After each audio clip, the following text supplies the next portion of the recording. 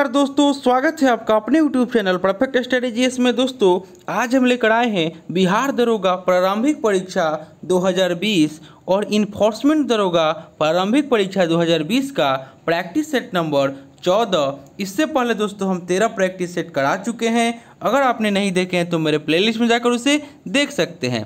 दोस्तों, यह practice set हम रुक्मिनी प्लेटफॉर्म बुक से करा रहे हैं। दोस्तों, आपसे एक रिक्वेस्ट है कि अभी तक आप हमारे चैनल को सब्सक्राइब नहीं किए हैं, इसे सब्सक्राइब कर दें, इसे ज़्यादा से ज़्यादा लाइक करें।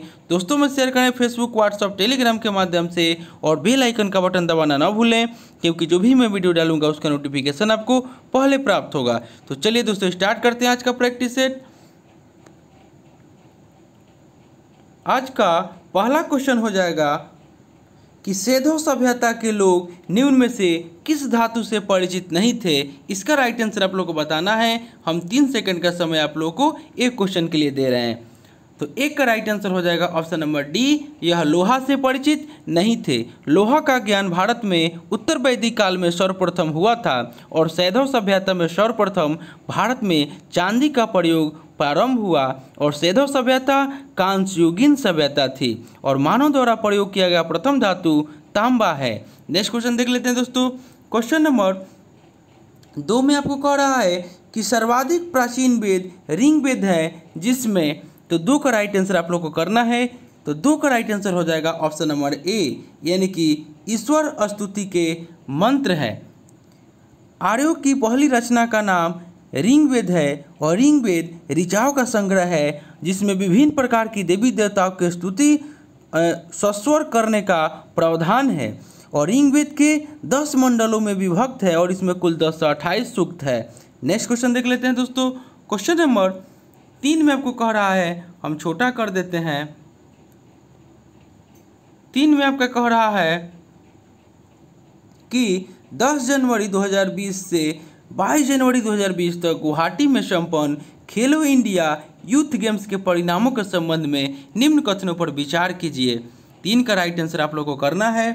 तो तीन का राइट आंसर हो जाएगा ऑप्शन नंबर डी यानी कि इस तेरह दिवसीय प्रतियोगिता में महाराष्ट्र ने अठहत्तर स्वर्ण, सतहत्तर रजत और एक सौ एक कांस्य पदक सहित दो सौ छप्पन पदक जीतकर लगातार दूसरे साल खेलो इंडिया यूथ गेम्स ट्रॉफी जीती, यानी कि ऑप्शन ए सही है। और हरियाणा के खिलाड़ियों ने अड़सठ स्वर्ण, सड़सठ, अड़सठ स्वर्ण, साठ रजत और बहत्तर कांस्य पदकों के पदकों के साथ कुल दो सौ पदक जीतकर प्रतियोगिता में दूसरा स्थान प्राप्त किया। और दिल्ली के खिलाड़ियों ने उनचालीस स्वर्ण, इकतीस रजत और सैंतालीस कांस्य पदकों के साथ कुल एक सौ बाईस पदक जीतकर अपने प्रदेश का तीसरा स्थान दिलाया। यानी कि तीन का राइट आंसर डी हो जाएगा। नेक्स्ट क्वेश्चन देख लेते हैं। क्वेश्चन नंबर चार में आपको कह रहा है कि निम्नलिखित में से कौन भारत की ओर से एक दिवसीय अंतर्राष्ट्रीय क्रिकेट में दो हैट्रिक लेने वाले पहले गेंदबाज बन गए हैं? तो चार का राइट आंसर हो जाएगा ऑप्शन नंबर डी यानी कि कुलदीप यादव। नेक्स्ट क्वेश्चन देख लेते हैं। क्वेश्चन नंबर पाँच में कह रहा है कि कनिष्क की राजधानी थी। इसका राइट आंसर आप लोग को बताना है। तो पाँच का राइट आंसर हो जाएगा ऑप्शन नंबर बी यानी कि पुरुषपुर, यानी कि पेशावर। कनिष्क ने मथुरा को द्वितीय राजधानी घोषित किया और कन्नौज को हर्षवर्धन ने राजधानी बनाया। कुषाण वंश का संस्थापक आपको कुजल कटविशेष था। नेक्स्ट क्वेश्चन देख लेते हैं दोस्तों। क्वेश्चन नंबर छः में आपको कह रहा है कि चीनी यात्री फाहियान निम्नलिखित के शासनकाल में भारत आया था। तो सिक्स का राइट आंसर हो जाएगा ऑप्शन नंबर सी यानी कि चंद्रगुप्त, द्वितीय के शासनकाल में फाहियान भारत आया था और चंद्रगुप्त मौर्य के समय मेगास्थनीज राजदूत बनकर भारत आया था। नेक्स्ट क्वेश्चन देख लेते हैं दोस्तों।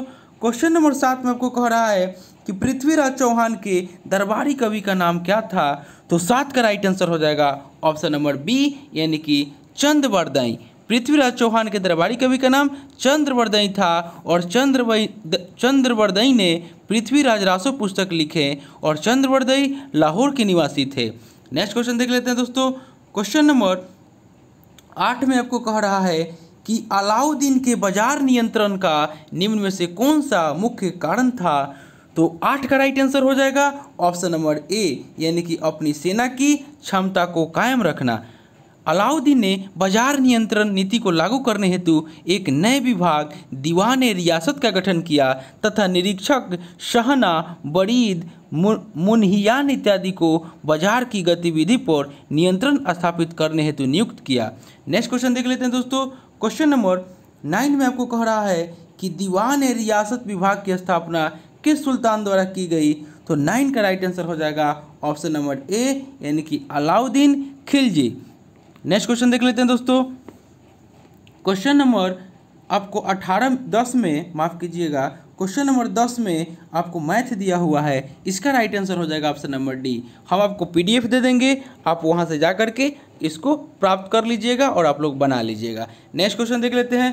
क्वेश्चन नंबर ग्यारह में आपको कह रहा है कि मुगल काल में सेना का प्रधान निम्न में से कौन था? तो ग्यारह का राइट आंसर हो जाएगा ऑप्शन नंबर बी यानी कि मीर बख्शी। बख्शी मुगल काल में सूबा के सैन्य प्रधान होते थे और मीर बख्शी द्वारा सरखत नाम के पत्र पर हस्ताक्षर के बाद ही सेना को हर महीने वेतन मिल पाता था।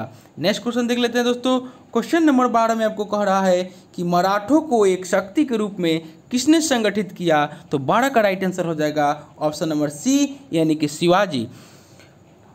मराठों को एक शक्ति के रूप में शिवाजी द्वारा संगठित किया और बालाजी विश्वनाथ मराठा की खोई हुई शक्ति को पुनः एकत्रित कर पेशवा के नेतृत्व में शक्तिशाली मराठा राज को पुनः स्थापित किया। नेक्स्ट क्वेश्चन देख लेते हैं।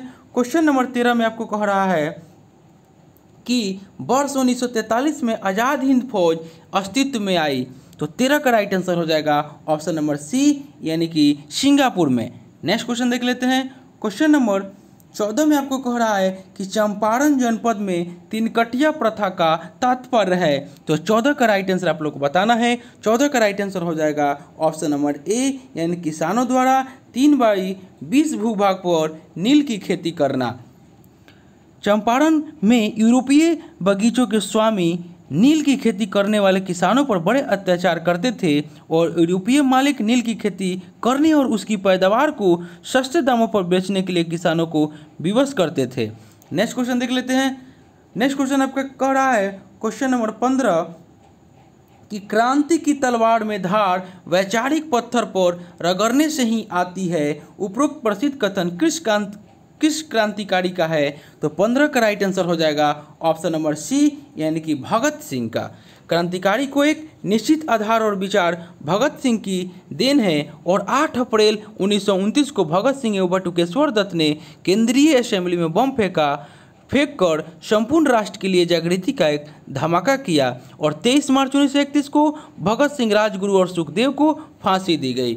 नेक्स्ट क्वेश्चन देख लेते हैं। क्वेश्चन नंबर सोलह में आपको कह रहा है कि किसने सर्वप्रथम यह प्रतिपादित किया कि सूर्य हमारे सौरमंडल का केंद्र है और पृथ्वी उसकी परिक्रमा करती है?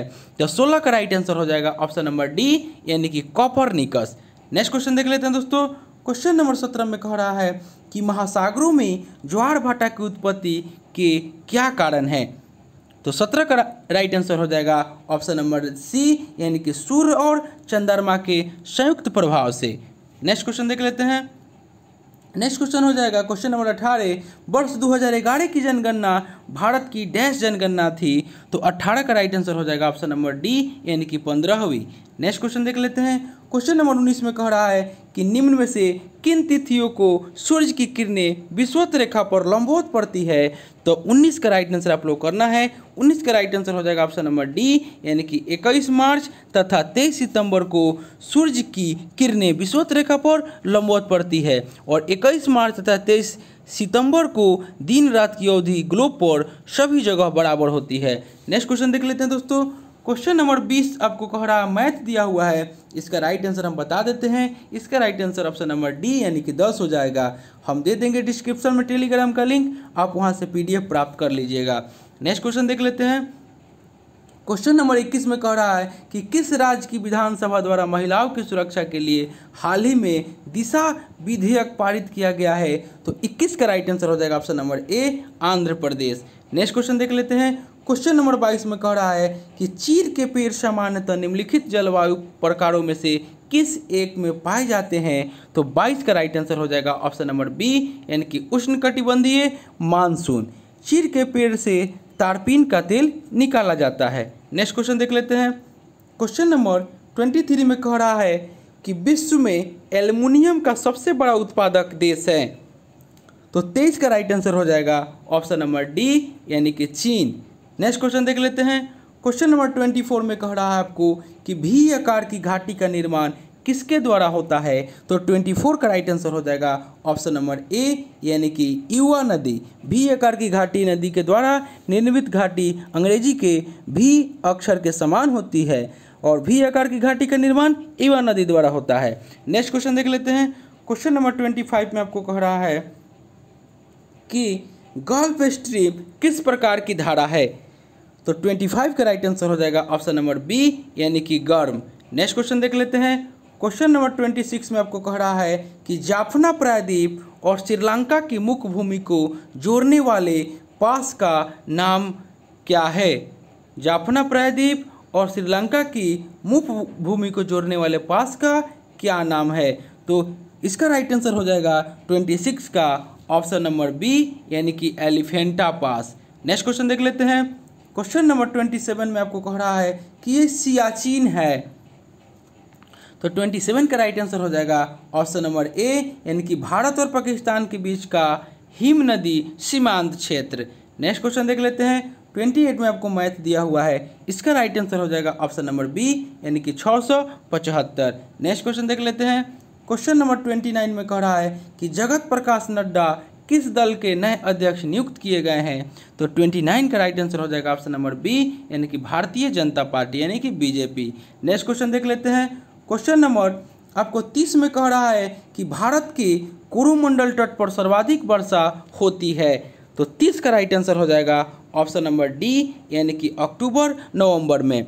इसे शीतकालीन मानसून या मानसून प्रत्यावर्तन का काल भी कहा जाता है और तमिलनाडु में शीतकाल में अधिक वर्षा होती है। नेक्स्ट क्वेश्चन देख लेते हैं दोस्तों। क्वेश्चन नंबर थर्टी वन में कह रहा है कि निम्नलिखित में से कौन सी एक नगदी फ़सल है? तो थर्टी वन का राइट आंसर हो जाएगा। ऑप्शन नंबर डी रबर जो है, यह एक नगदी फ़सल है। रबर, जूट, कॉफ़ी, चाय, कपास, तंबाकू आदि नगदी फ़सल है। नेक्स्ट क्वेश्चन देख लेते हैं दोस्तों। क्वेश्चन नंबर थर्टी टू कह रहा है कि इकहत्तरवें गणतंत्र दिवस के मौके पर मुख्य अतिथि के रूप में राष्ट्रपति जियर मेसियस बोल्सनारो भारत दौरे पर आए। वे किस देश के राष्ट्रपति है? तो आपको थर्टी टू का राइट आंसर हो जाएगा। ऑप्शन नंबर सी यानी कि ब्राज़ील। नेक्स्ट क्वेश्चन देख लेते हैं।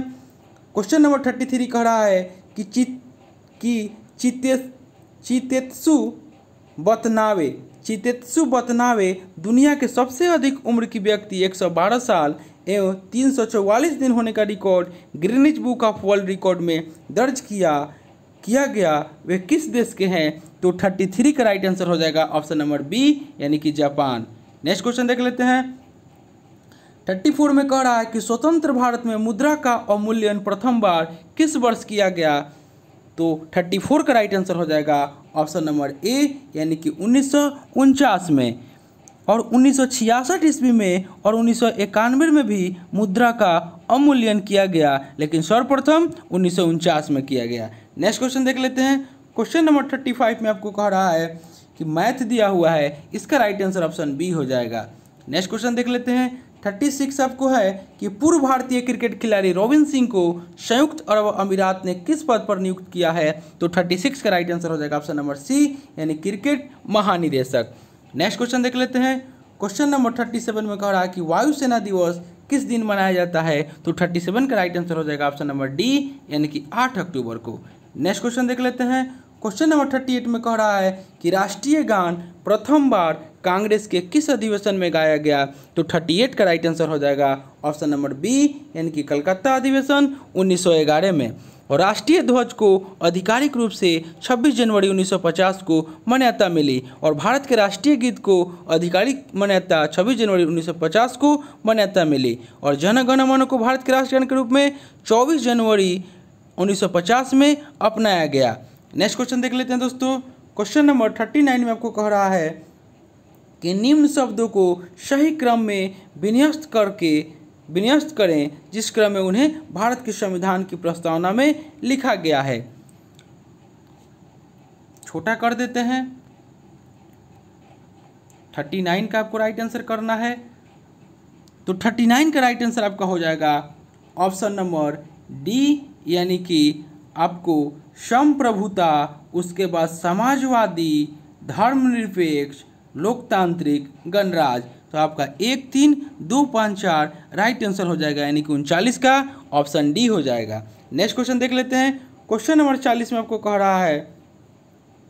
क्वेश्चन नंबर चालीस में कह रहा है कि जब कोई व्यक्ति ऐसे पदाधिकारी के रूप में कार्य करने लगता है, जिसके रूप में कार्य करने का उसे संवैधानिक रूप से अधिकार नहीं है तो न्यायालय कौन सा लेख जारी करता है? तो चालीस का राइट आंसर हो जाएगा ऑप्शन नंबर ए, यानी कि अधिकार परीक्षा। नेक्स्ट क्वेश्चन देख लेते हैं दोस्तों।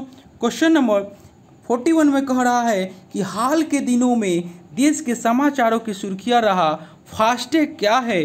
तो फोर्टी वन का राइट आंसर हो जाएगा ऑप्शन नंबर बी, यानी कि electronic toll collection system. Next question देख लेते हैं दोस्तों। क्वेश्चन नंबर फोर्टी टू में आपको कह रहा है कि संसद के दोनों सदनों द्वारा अनुमोदन किए जाने पर उस तारीख से कब तक आपातकाल प्रवर्तन में रह सकता है? तो बयालीस का राइट आंसर हो जाएगा ऑप्शन नंबर सी, यानी कि छः माह तक। दोस्तों, आपसे एक रिक्वेस्ट है कि अभी तक आप हमारे चैनल को सब्सक्राइब नहीं किए हैं, इसे सब्सक्राइब कर लें और इसे ज़्यादा से ज़्यादा लाइक करें। और दोस्तों, पूरा वीडियो को देखिएगा, क्योंकि जो भी क्वेश्चन इसमें दिया हुआ है वो आपके आने वाले एग्ज़ाम के लिए बहुत ही महत्वपूर्ण है। नेक्स्ट क्वेश्चन देख लेते हैं दोस्तों। क्वेश्चन नंबर फोर्टी थ्री में आपको कह रहा है कि संसद में भारतीय राष्ट्रपति पर महाभियोग एक तो फोर्टी थ्री का राइट आंसर हो जाएगा। ऑप्शन नंबर बी यानी कि अर्ध न्यायिक प्रक्रिया है और इसकी चर्चा अनुच्छेद इकसठ में महाभियोग की प्रक्रिया की चर्चा है। नेक्स्ट क्वेश्चन देख लेते हैं दोस्तों। क्वेश्चन नंबर फोर्टी फोर में आपको कह रहा है कि वे केंद्र शासित प्रदेश जिनका राज्यसभा में प्रतिनिधित्व है, निम्न में से कौन है? तो चौवालीस का राइट आंसर हो जाएगा ऑप्शन नंबर सी यानी कि दिल्ली। दिल्ली केंद्र शासित प्रदेश जिनका राज्यसभा में प्रतिनिधित्व है। और राज्यसभा का गठन 3 अगस्त उन्नीस सौ बावन को किया गया और 10 लाख की आबादी पर राज्यसभा का एक सदस्य निर्वाचित होता है। नेक्स्ट क्वेश्चन देख लेते हैं। क्वेश्चन नंबर 45 में कह रहा है कि वरुण 2019 भारत का किस देश के साथ संयुक्त नौसैनिक अभ्यास है? तो 45 का राइट आंसर हो जाएगा ऑप्शन नंबर सी यानी कि फ्रांस के साथ। नेक्स्ट क्वेश्चन देख लेते हैं। क्वेश्चन नंबर 46 में आपको निम्न राज्यों के निर्माण का सही क्रम बताएँ तो 46 का राइट आंसर हो जाएगा ऑप्शन नंबर सी यानी कि एक, दो, चार, तीन। यानी कि पहले असम, उसके बाद नागालैंड, फिर मिजोरम, फिर गोवा। यानी कि एक दिसंबर असम राज्यों का पुनर्गठन नवंबर उन्नीस सौ छप्पन में राज्य बनाया गया। उसके बाद आपको उन्नीस सौ छप्पन में आपको असम हो जाएगा।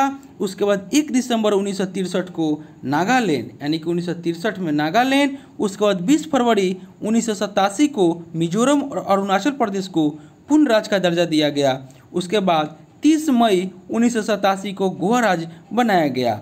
नेक्स्ट क्वेश्चन देख लेते हैं दोस्तों।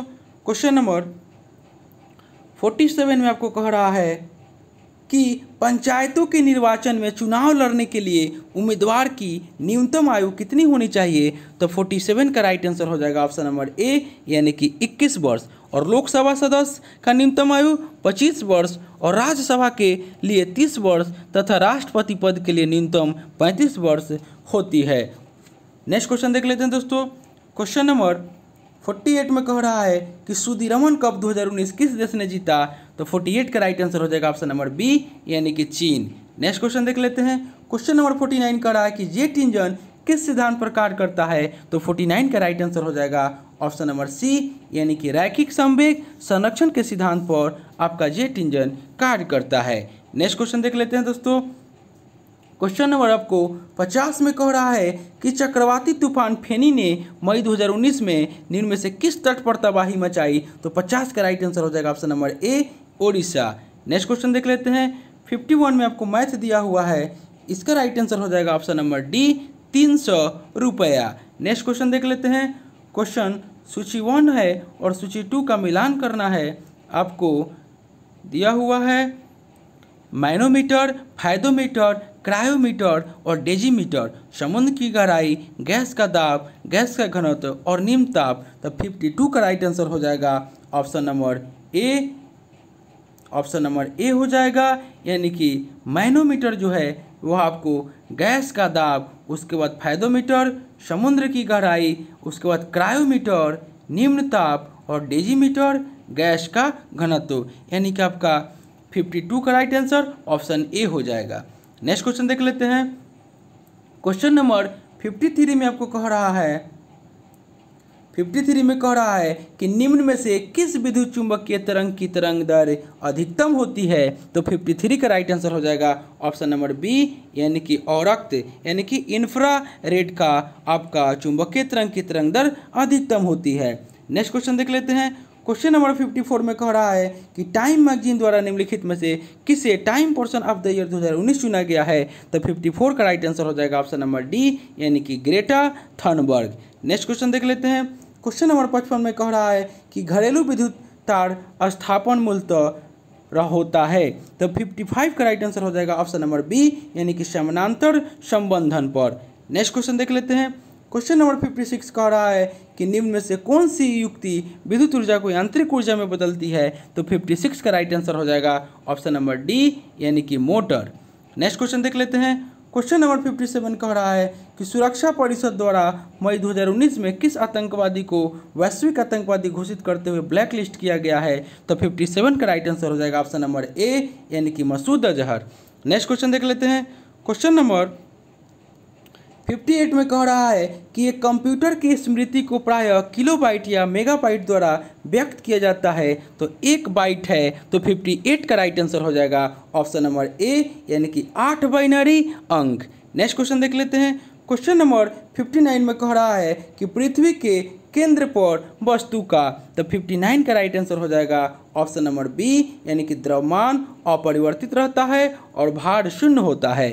नेक्स्ट क्वेश्चन देख लेते हैं दोस्तों। क्वेश्चन नंबर साठ में कह रहा है कि गन मेटल किसकी मिश्र धातु है? तो साठ का राइट आंसर हो जाएगा ऑप्शन नंबर डी यानी कि तांबा, टीन और जिंक का जो मिश्र धातु आपको है गन मेटल। नेक्स्ट क्वेश्चन देख लेते हैं। क्वेश्चन नंबर सिक्सटी वन में आपको कह रहा है कि उन शराब त्रासदियों में, जिनके परिणाम स्वरूप अंधता आदि होती है, हानिकारक पदार्थ है तो 61 का राइट आंसर हो जाएगा ऑप्शन नंबर डी यानी कि मिथाइल एल्कोहल नेक्स्ट क्वेश्चन देख लेते हैं।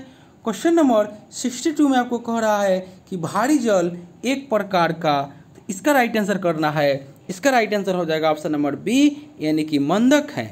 ड्यूटेरियम के ऑक्साइड को भारी जल कहा जाता है, जो हाइड्रोजन का एक भारी समस्थानिक है और भारी जल की खोज 1932 में यूरे तथा वासवर ने की थी और भारी जल का अनुभार 20 होता है। नेक्स्ट क्वेश्चन देख लेते हैं। क्वेश्चन नंबर 63 में कह रहा है कि निम्नलिखित में से किसे भारतीय निम्नलिखित में से किसे भारतीय को स्पेन के टॉप डिवीज़न फुटबॉल लीग लिंग लाल लिंगा का पहला ब्रांड एम्बेसडर नियुक्त किया गया है? तो 63 का राइट आंसर हो जाएगा ऑप्शन नंबर सी यानी कि रोहित शर्मा।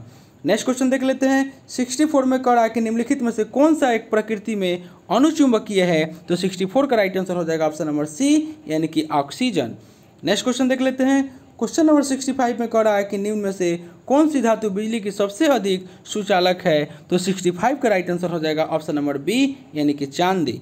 नेक्स्ट क्वेश्चन देख लेते हैं। क्वेश्चन नंबर 66 में कह रहा है कि रक्त की पीएच है। तो 66 का राइट आंसर हो जाएगा ऑप्शन नंबर सी यानी कि 7.4 जो है, वह रक्त का पीएच मान होता है। और किसी बिलियन का पीएच मान सात से कम होने पर वह बिलियन अम्लीय होता है, और पीएच का मान सात से अधिक होने पर वह बिलियन क्षारीय होता है। नेक्स्ट क्वेश्चन देख लेते हैं। क्वेश्चन नंबर 67 कह रहा है कि दूध निम्न का उदाहरण है तो 67 का राइट आंसर हो जाएगा ऑप्शन नंबर सी यानी कि पायस। दूध जो है, वह पायस का उदाहरण है। नेक्स्ट क्वेश्चन देख लेते हैं। क्वेश्चन नंबर 68 कह रहा है कि कौन सा तत्व उर्वरकों में उपस्थित नहीं होता? तो 68 का राइट आंसर हो जाएगा ऑप्शन नंबर सी यानी कि क्लोरीन नेक्स्ट क्वेश्चन देख लेते हैं। क्वेश्चन नंबर 69 में आपको कह रहा है कि सोने के गहनों एवं कलाकृतियों की हॉल मार्किंग किस किस तिथि से अनिवार्य? सोने के गहनों एवं कलाकृतियों की हॉल मार्किंग किस तिथि से अनिवार्य करने का निर्णय किया गया है तो 69 का राइट आंसर हो जाएगा ऑप्शन नंबर डी यानी कि 15 जनवरी 2021 से। नेक्स्ट क्वेश्चन देख लेते हैं। सत्तर में कह रहा है कि अम्लीय विलयन में डुबाए जाने पर नीले लिटमस पेपर का रंग हो जाता है तो सत्तर का राइट आंसर हो जाएगा ऑप्शन नंबर ए यानी कि लाल। अम्ल के गुण अम्ल स्वाद में खट्टा होता है और अच्छे प्रबल अम्ल विद्युत का सुचालक होते हैं और अम्ल धातु से क्रिया करके हाइड्रोजन गैस मुक्त करते हैं। नेक्स्ट देख लेते हैं सेवेंटी वन में आपको दे रहा है, सूची वन का, सूची टू से मिलान आपको कर रहा है, बीमारी दिया हुआ है और इस उससे संबंधित दिया हुआ है सूची टू में। तो सेवेंटी वन का राइट आंसर हो जाएगा ऑप्शन नंबर बी यानी कि मलेरिया जो होता है, आपको प्रभावित रक्त कोशिकाएँ होती है। उसके बाद फाइलेरिया फाइलेरिया से प्रभावित लसिका ग्रंथि हो जाएँगी। उसके बाद एंसीफेलाइटिस जो है आपका प्रभावित मस्तिष्क हो जाएगा। उसके बाद ल्यूकेमिया से प्रभावित आपको बून मैरो यानी कि मस्तिष्क मज्जा हो जाएगा। यानी कि सेवेंटी वन का राइट आंसर ऑप्शन बी हो जाएगा। नेक्स्ट क्वेश्चन देख लेते हैं। क्वेश्चन नंबर सेवेंटी टू में आपको कह रहा है कि किसकी अध्यक्षता वाली समिति ने 31 मई 2019 को नई शिक्षा नीति का मसौदा सरकार को प्रस्तुत किया? तो 72 का राइट आंसर हो जाएगा ऑप्शन नंबर सी यानी कि के कस्तूरी रंगन समिति। नेक्स्ट क्वेश्चन देख लेते हैं। 73 में कह रहा है कि शरीर में उत्तकों का निर्माण होता है तो 73 का राइट आंसर हो जाएगा ऑप्शन नंबर सी यानी कि प्रोटीन से। कार्बोहाइड्रेट और वसा से ऊर्जा प्राप्त होता है और विटामिन शरीर के उपापचय में रासायनिक प्रतिक्रियाओं के नियमन के लिए अत्यंत आवश्यक है। नेक्स्ट क्वेश्चन देख लेते हैं। क्वेश्चन नंबर 74 में कहा कि लार किसके पाचन में सहायक है? तो 74 का राइट आंसर हो जाएगा ऑप्शन नंबर ए यानी कि स्टॉर्च के पाचन में सहायक है। और लार में लार में टाइलिन एंजाइम पाया जाता है और मनुष्य में तीन जोड़ी लार ग्रंथियाँ पाई जाती है। नेक्स्ट क्वेश्चन देख लेते हैं दोस्तों। क्वेश्चन नंबर सेवेंटी फाइव में आपको कह रहा है कि निम्नलिखित में से किस विदेशी यात्री ने बिहार की यात्रा की थी? तो 75 का राइट आंसर हो जाएगा ऑप्शन नंबर डी, यानी कि उपयुक्त सभी फाहियान मेगास्तनीज और हेनसोंग। नेक्स्ट क्वेश्चन देख लेते हैं। क्वेश्चन नंबर 76 में कह रहा है कि प्रकाश संश्लेषण की क्रिया के लिए तो इसका राइट आंसर हो जाएगा ऑप्शन नंबर सी यानी कि एक और दो, दोनों, यानी कि क्लोरोफिल आवश्यक है और जल एवं सूर्य का प्रकाश आवश्यक है। नेक्स्ट क्वेश्चन देख लेते हैं। क्वेश्चन नंबर 77 में कह रहा है कि हमारे जीव का वह भाग जो मीठा स्वाद बताता है तो 77 का राइट आंसर हो जाएगा ऑप्शन नंबर बी यानी कि अग्रभाग। जिह्वा स्वाद के उद्दीपनों को ग्रहण करती है और इसमें छोटी छोटी कलिकाएँ पाई जाती है, जिसे स्वाद कलिकाएँ कहते हैं। नेक्स्ट क्वेश्चन देख लेते हैं। क्वेश्चन नंबर 78 में आपको कह रहा है कि निम्नलिखित में से किसको क्रिकेट में चाइना मैन कहते हैं? तो 78 का राइट आंसर हो जाएगा ऑप्शन नंबर डी यानी कि बाएँ हाथ के धीमे गेंदबाज द्वारा फेंकी गई ऑफ़ ब्रेक गेंद। नेक्स्ट क्वेश्चन देख लेते हैं। क्वेश्चन नंबर 79 में आपको कह रहा है 79 में आपको कह रहा है कि शेर शाह के मकबरे का निर्माण किसने करवाया? तो 79 का राइट आंसर हो जाएगा ऑप्शन नंबर ए यानी कि शेर शाह शेर शाह द्वारा सासाराम में तालाब के बीच अष्टभुजाकार भव स्वयं का मकबरा बनाया गया और शेर शाह ने रोहतासगढ़ के किला का निर्माण किया था। नेक्स्ट क्वेश्चन देख लेते हैं। क्वेश्चन नंबर अस्सी में कह रहा है कि एंथ्रोपोलॉजिकल सर्वे ऑफ़ इंडिया का मुख्यालय है तो अस्सी का राइट आंसर हो जाएगा ऑप्शन नंबर ए यानी कि कोलकाता में। नेक्स्ट क्वेश्चन देख लेते हैं। क्वेश्चन नंबर 81 में कह रहा है कि बीजक का रचयिता कौन है तो 81 का राइट आंसर हो जाएगा ऑप्शन नंबर बी यानी कि कबीर दास। कबीर दास रामानंद के शिष्य थे और वे निर्गुण संत थे। नेक्स्ट क्वेश्चन देख लेते हैं। क्वेश्चन नंबर 82 में आपको कह रहा है कि निम्नलिखित में से कौन कथक नृत्य का उत्कृष्ट नर्तक है? तो 82 का राइट आंसर हो जाएगा ऑप्शन नंबर सी यानी कि बिरजू महाराज जो है, वह कथक नृत्य के आपको उत्कृष्ट नर्तक हैं। नेक्स्ट क्वेश्चन देख लेते हैं दोस्तों। क्वेश्चन नंबर 83 में आपको कह रहा है कि lessons life taught me unknowingly किसकी आत्मकथा है? तो 83 का राइट आंसर हो जाएगा ऑप्शन नंबर सी यानी कि अनुपम खेर।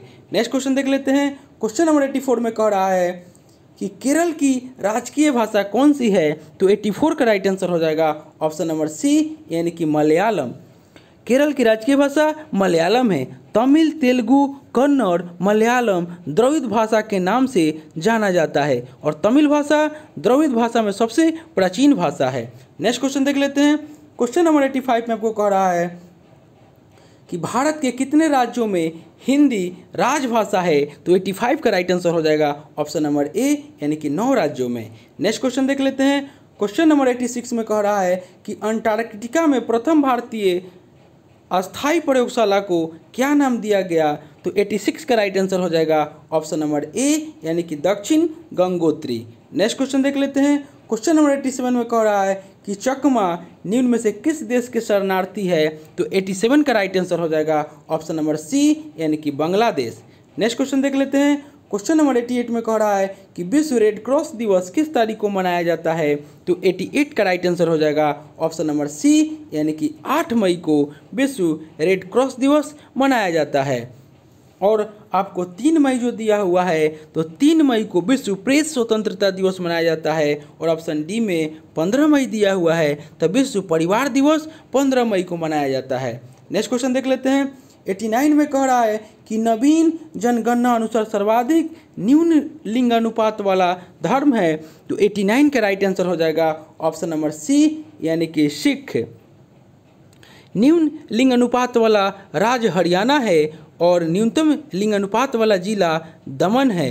और नवीन नवीन जनगणना के अनुसार, नवीन जनगणना के अनुसार सर्वाधिक न्यूनतम लिंग अनुपात वाला धर्म सिख धर्म है। नेक्स्ट क्वेश्चन देख लेते हैं दोस्तों। क्वेश्चन नंबर नब्बे में आपको कह रहा है कि अर्थशास्त्र के लिए नोबेल पुरस्कार उन्नीस सौ सड़सठ में स्थापित किया गया था, परंतु सर्वप्रथम पुरस्कार किस वर्ष प्रदान किया गया? तो नब्बे का राइट आंसर हो जाएगा ऑप्शन नंबर सी यानी कि सन उन्नीस सौ उनहत्तर में। नेक्स्ट क्वेश्चन देख लेते हैं। क्वेश्चन नंबर नाइन्टी वन में आपको कह रहा है कि धनवंतरी पुरस्कार दिया जाता है। तो 91 का राइट आंसर हो जाएगा ऑप्शन नंबर ए यानी कि चिकित्सा क्षेत्र में आजीवन सेवा। नेक्स्ट क्वेश्चन देख लेते हैं। क्वेश्चन नंबर 92 में कह रहा है कि एयरफोर्स एडमिनिस्ट्रेटिव कॉलेज कहाँ पर स्थापित है? तो 92 का राइट आंसर हो जाएगा ऑप्शन नंबर सी यानी कि कोयम्बटूर में। और एयरफोर्स एकेडमी हैदराबाद में है। नेक्स्ट क्वेश्चन देख लेते हैं दोस्तों। क्वेश्चन नंबर 93 में आपको कह रहा है।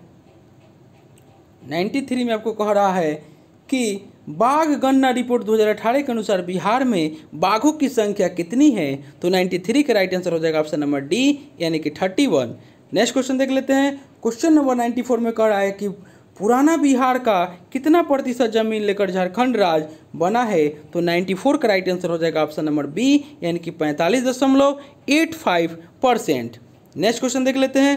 क्वेश्चन नंबर 95 में कह रहा है कि भारत पर आक्रमण करने वाला पहला विदेशी कौन था तो 95 का राइट आंसर हो जाएगा ऑप्शन नंबर बी यानी कि डेरियस प्रथम. डेरियस प्रथम को भारतीय साहित्य में दारा प्रथम कहा गया है। नेक्स्ट क्वेश्चन देख लेते हैं। क्वेश्चन नंबर 96 में कह रहा है कि गौतम बुद्ध का महापरिनिर्वाण किस स्थान पर हुआ? तो 96 का राइट आंसर हो जाएगा ऑप्शन नंबर सी कुशीनारा, यानी कि कुशीनगर। गौतम बुद्ध का महापरिनिर्वाण कुशीनगर में हुआ और महापरिनिर्वाण बुद्ध की चार सौ तिरासी में हुई और बुद्ध का जन्म लुम्बिनी में पाँच सौ तिरसठ बीसी में हुई थी और बुद्ध के पूर्व जन्म की कहानी जातक में वर्णित है। नेक्स्ट क्वेश्चन देख लेते हैं। क्वेश्चन नंबर नाइन्टी सेवन में आपको कह रहा है कि एल और कोलंबिया विश्वविद्यालय की ओर से संयुक्त रूप से जारी पर्यावरण निष्पादन सूचकांक 2020 में भारत को कौन सा स्थान प्राप्त हुआ है? तो 97 का राइट आंसर हो जाएगा ऑप्शन नंबर ए, यानी कि एक सौ अड़सठवा। नेक्स्ट क्वेश्चन देख लेते हैं। 98 में कह रहा है कि निम्न में कौन बौद्ध त्रिरत्नों में शामिल नहीं है? तो 98 का राइट आंसर हो जाएगा ऑप्शन नंबर बी, यानी कि अहिंसा। बुद्ध धम्म और संघ आपको बौद्ध त्रिरत्नों में शामिल हैं। नेक्स्ट क्वेश्चन देख लेते हैं। क्वेश्चन नंबर 99 में आपको कह रहा है कि निम्नलिखित में से कौन सा सिद्धांत जैन धर्म का नहीं है? तो 99 का राइट आंसर हो जाएगा ऑप्शन नंबर ए यानी कि अनेकांतवाद जो है, आपको माफ़ कीजिएगा 99 का आपको ए हो जाएगा, शून्यवाद। शून्यवाद जो है, सिद्धांत जैन धर्म का नहीं है। अनेकांतवा अनेकांतवाद, श्यादवाद और न्यायवाद जैन धर्म का सिद्धांत है। नेक्स्ट क्वेश्चन देख लेते हैं। क्वेश्चन नंबर आज का अंतिम और हंड्रेड नंबर क्वेश्चन हो जाएगा कि आज़ाद शत्रु मगध की गद्दी पर कब बैठा था? तो हंड्रेड का राइट आंसर हो जाएगा ऑप्शन नंबर डी यानी कि इनमें से कोई नहीं, यानी कि आज़ाद शत्रु के मगध की गद्दी पर बैठने में उपरोक्त में से कोई विकल्प सही नहीं है और अजात शत्रु जो है आपको चार सौ तिरानवे ईस्वी पूर्व में मगध की गद्दी पर बैठा था और अजात शत्रु को पितृहंता कहा जाता है और हरक वंश को पितृहंता वंश कहा जाता है। तो दोस्तों, यह थे बिहार दरोगा प्रारंभिक परीक्षा 2020 और इन्फोर्समेंट दरोगा प्रारंभिक परीक्षा 2020 का प्रैक्टिस सेट नंबर चौदह इससे पहले दोस्तों हम तेरे प्रैक्टिस सेट करा चुके हैं।